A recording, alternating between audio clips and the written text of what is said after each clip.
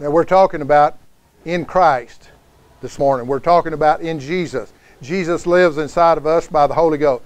Now, if you think about this just for a minute, our, our body became the temple.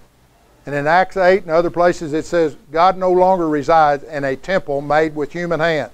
We are the place where God resides. Resides, excuse me. And he comes on us, he lives in us. Now, to the fervor that you release the power in yourself, the fervor means to be expounded upon, to be moved out, to the fervor intents of your spirit will be the intents that you release it. Well, you're going to say, I'm a private person. I don't. I, it doesn't make any difference. If you're filled with the Spirit of God, you're going to do what the Spirit of God is leading you. If you're not filled with the Spirit of God, you're going to do what your flesh is telling you to do or your soul person's telling you to do.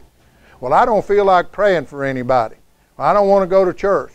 Well, that's all fine and dandy, but somewhere you need to assemble yourself with like believers. Now, if you hang out with people that don't believe in healing, don't believe in salvation, don't believe in what the Bible teaches, you're only getting a part of the message. Not any condemnation in that, but that's all you got. If you go to that restaurant around there and you order a T-bone steak and they bring you a bone with no steak on it, you've just got part of the meat. Huh? How about it? Have you just had part of the meat or are you feeding on the full message that God said? He says, I prepared in front of you a table. In Christ he had. But outside of him, you got nothing.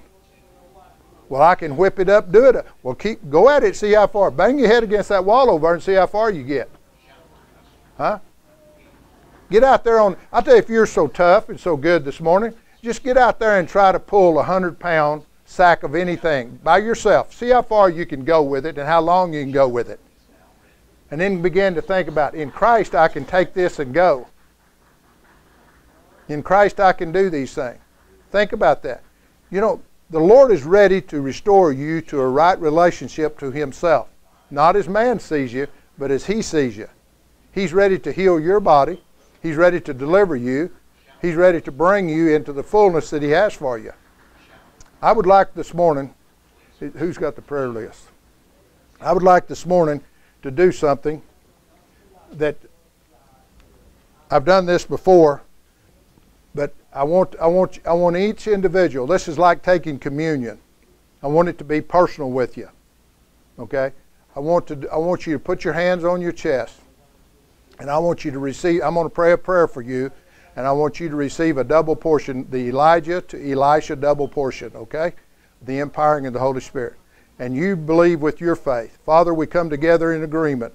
The Word says that believers will lay hands on other believers and bestow upon them in, first excuse me in 2 timothy chapter 1 verse 6 the gift of the holy spirit and i just give the gift of the holy spirit to every person with, the, with their hands upon their chest that will believe this day that the anointing the unction from the holy spirit that we have from you lord jesus that will bring us and fill us just like when elijah gave to elisha a double portion of the presence of the living god was able to do twice as many miracles as his father did well, Jesus, you are our begotten brother in the brotherhood, and you said in you all power, all authority had been given to you. And so, right now, by the authority of your name, and by the authority of your word, and by the blood of your hanging on that cross, the efficacious blood that cleanses us and washing us, I put these hands on, on these bodies that they receive the very indwelling of the Holy Spirit the baptism of the Holy Spirit,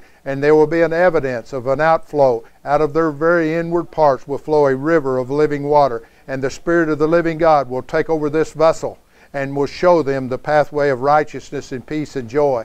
And they will know that they know they can go in the power of your name and do the very thoughts and the intents of your heart, Father, because your Son, even though he was your Son, went down to the River Jordan on that day and John the Baptist baptized him in the water. And when he came out, you outpoured yourself into your very own son. Even though he was deity prior to this, he needed the filling.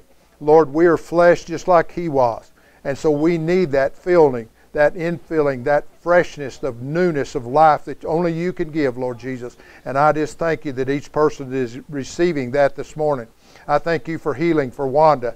I thank you for deliverance of, of Bobby Sue Father, from that, that awful infection she's got, and been sitting in a wheelchair for 50 years. I thank you, Lord, you're raising that girl up in Jesus' name. I thank you for Wanda that has suffered from cancer, Father. I thank you for Lyle, who's been diagnosed to have cancer. Father, I thank you for that man that's being healed and whole.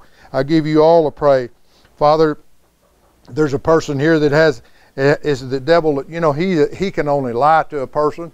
He can tell them that they are, have cancer. He can tell them they're sick. He can tell them their wife doesn't love them, their husband doesn't love them. They're not going to do anything. But Father, we bind the enemy in Jesus' name off of these people that they have just received the very power from on high. Greater is He that is in them than He is in the world. We thank you, Lord, that the very presence of the Holy Spirit is in each of us. We thank you that every person that comes in contact with us will see and know that there is a fruit. We pray for the leadership of this nation in the world, Father. They're meeting in Korea, that there would be great and mighty things happen, that the leadership there would get on their face before a holy God and say, What can we do to shape our world? And Father, we know that we live in treacherous times, but you know the way, the beginning and the end. You know everything. So we're resting upon your word that all is well. And we give you praise. And everybody said, Amen.